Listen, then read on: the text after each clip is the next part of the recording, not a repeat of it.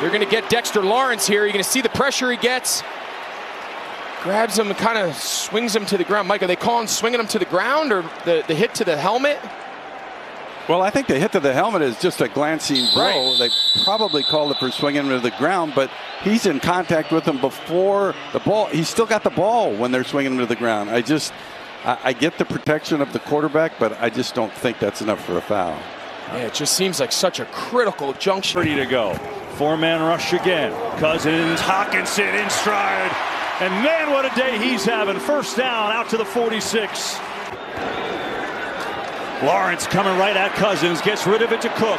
Cook in space, makes a move and goes out of bounds. They'll put him at the 48 yard. Cousins has time, lets it loose. It's incomplete. Fourth and eight, game on the line. Cousins, Hockenson, he is not going to get there, and the Giants will take over.